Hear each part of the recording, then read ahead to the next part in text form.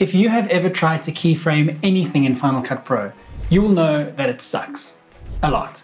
Luckily, there is a way to fix the terrible keyframing in Final Cut Pro with a plugin called Add Motion. With Add Motion, you can create movements in your footage or add animations like this.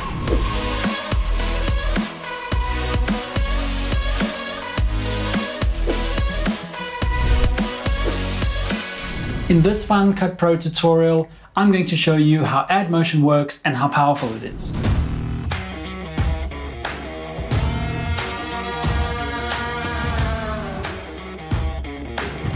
Before we dive into how the plugin works, let me quickly show you a real-world example of why Add Motion is so much better than Final Cut Pro's built-in keyframing.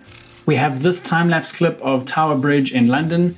I'm going to go over here and set a keyframe on the scale and the position of the clip and I'll go forward a second or so and I'll change the scale here to 125 and I'll reposition this so that the tower or the bridge sorry is in the corner like that.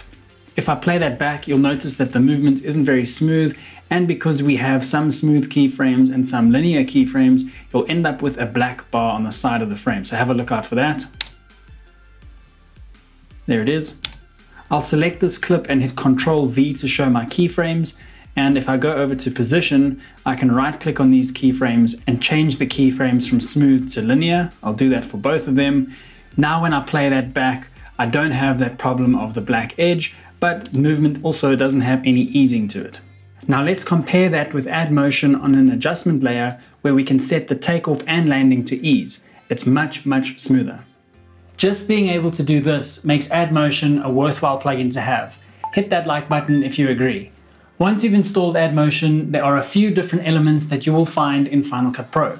In your titles browser under Add Motion, you'll find an Add Motion text title effect, an adjustment layer, and two 3D title effects. In your effects browser under Add Motion, you have a few effects like Add Motion, Pop, Swing, Color Trails, and two different motion blur options. These title effects and effects are really powerful and they are capable of doing so much more than what I can cover in just one video. But let's start by running through how the plugin works and then I'll show you a few examples of how I personally use it. So you can apply this add motion effect directly onto a clip, but I like to use an adjustment layer when I'm working with footage because that gives me a little bit more freedom and control. So let's drop this adjustment layer on top of the clip and I'll retime it to fit using the shortcut Alt and the square bracket. And that will trim the adjustment layer to my playhead. Then I'll add the add motion effect to this adjustment layer, and then I can come over here to change my parameters. If I double click at the top of this inspector window, I can expand the view of all these parameters. Basically how the Add Motion plugin works is you set an A position and a B position, and then you move from A to B or B to A. You've got a couple of options here, which I'll run through in a second. When you set the position, you can change the actual position, the rotation, the scale, and the depth of the A and the B positions, and you've got a couple of other parameters as well. Let's set the A position to zero because we want that to be how the shot looks at the moment, and the B position will zoom in to 150%.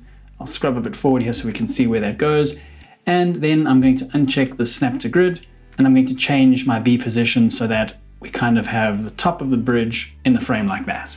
I'm going to double click on my inspector again just so that I can get this view back to normal. And if I play that back, this is what it looks like at the moment. It moves like that at the moment because we have it set from A to B. So it moves from A, which have these parameters, to B, which is scaled up slightly, and we have the position slightly to the side. Also, it takes off from A in a linear way, so there's no easing. I can set that to ease, and I can set the landing to ease as well. We have a couple of options there, which I'll go through again in a sec. And if I play that back, this is what it looks like. So now the motion is a little bit smoother, but I can also move from B to A, which means we'll go from that zoomed in view and zoom out.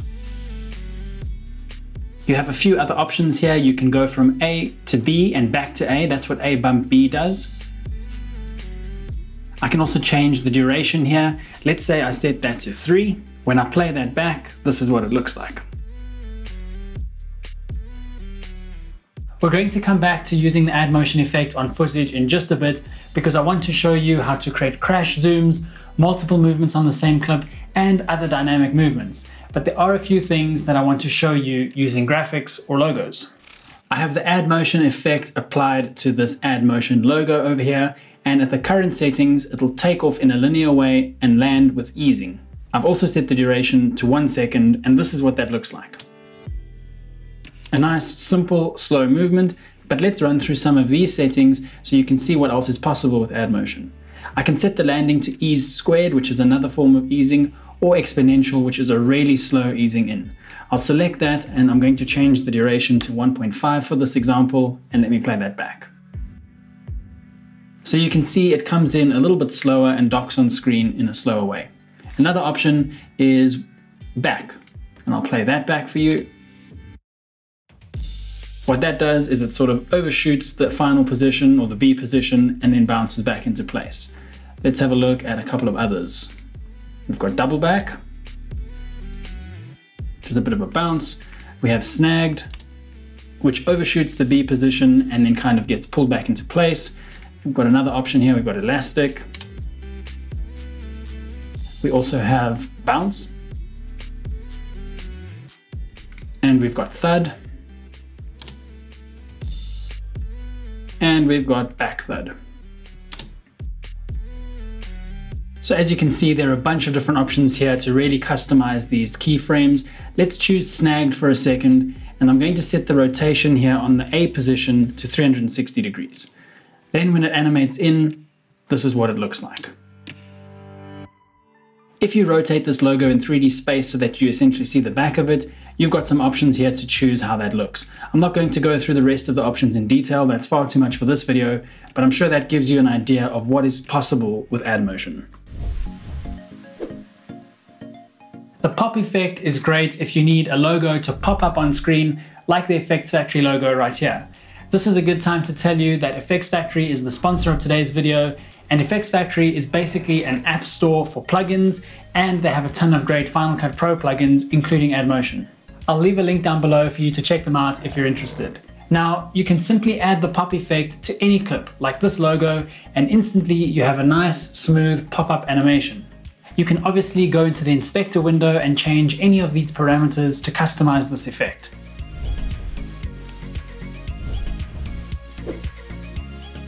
The swing effect is cool too, because you can have graphics swing into place, like this Final Cut Pro logo in the top corner. Let me show you how easy it is to create that. I already have the Final Cut Pro logo in a compound clip and I'll add the swing effect. There are a few options that you can choose from in terms of what the logo can swing on and here you can get help on what each of them do. But I'm going to keep this set to bar. I'll change the duration to 1.5, I'll scale it down, and I'll adjust the position of the asset so that it's at the top of the screen. I'll grab the anchor and move that so that the logo is in the corner.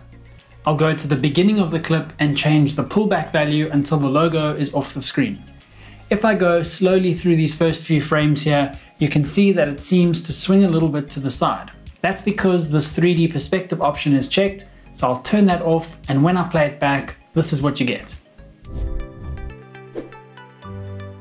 The color trails and motion blur effects are nice little extras that you can use to enhance your animations.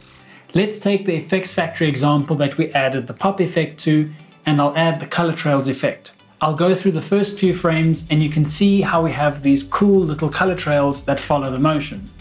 You can change the trail length the number of echoes, and the colors if you like, and this is what it looks like. To show you how the Motion Blur plugin works, let's take the Final Cut Pro logo example with the swing effect applied to it and add the Motion Blur High effect. Motion Blur Tight does the same thing, but it's a little bit more subtle. You can see how the motion is blurred now, and this is what it looks like in real time. There are also a few text effects that are fun to use. You can drag and drop this add motion text effect onto the timeline and adjust the parameters to create your movement. There are so many ways to animate text using add motion, so you can be creative and come up with your own unique title animations. There are also pop and swing effects for 3D text, which might be handy to you if you work with 3D text often. A crash zoom is a sudden and fast zoom in, and creating smooth crash zooms is super easy with add motion. I have this shot of Cape Town and I want to crash zoom into this building over here. So I'll grab an adjustment layer, which I'll start somewhere around there. and I want to trim this adjustment layer using Alt and the square bracket over there. Next, I'll add the Add Motion plugin to this adjustment layer, and then we can come in and change our parameters. I'll set the A position to zero, and then on the B position, I want to set my scale to 150%. I'll go ahead and turn the snap to grid off so that I can adjust the B position freely, and I want to position it so that the building is in the middle of the frame. Next, I'll go ahead and set the duration to 0.3 of a second because I want to zoom in really quickly. I'll also set the takeoff to expo so that we quickly accelerate from zero into the zoom. And I'm going to set the landing to ease so that we don't have a sudden stop and we have a nice ease into the B position. I'll go ahead and play that back and this is what it looks like. And that looks pretty good, but one thing I'd like to do is add some motion blur to that zoom. So I'll go to the beginning here where it just starts to zoom in and I'm going to add my motion blur high effect onto that adjustment layer. Now you'll see we've got some really nice looking motion blur happening in the frame. All you need is a quick little whoosh sound effect to really bring this crash zoom to life.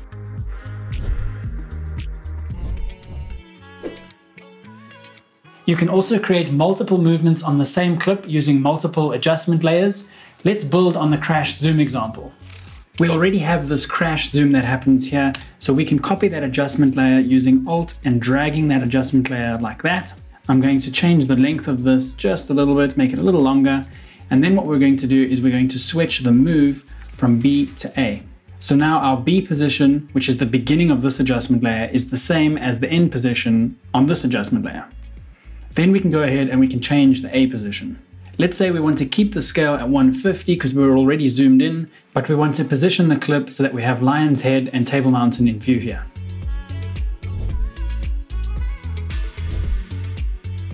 Let's duplicate this adjustment layer one last time, and I'm going to retime it to fit the length of this clip. And now I'm going to set this to move from A to B, and I'm going to set the B position back to zero and the scale back to zero. I want this movement to take place over about five seconds, and I'm going to set the takeoff to ease. This is what the entire shot looks like with the multiple movements.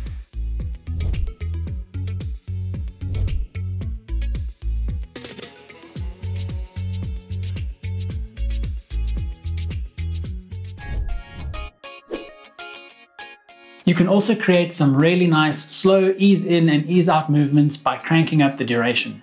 I have this six second long clip here of Lake Bled and I've set the duration of add motion on this adjustment layer to six and the takeoff and the landing are both set to ease. A position is at 150% so we're zoomed in onto the little island and the B position is fully zoomed out and revealing the entire clip. This is what that looks like.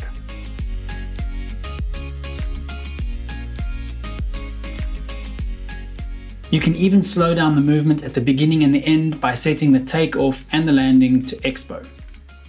And this is what that looks like.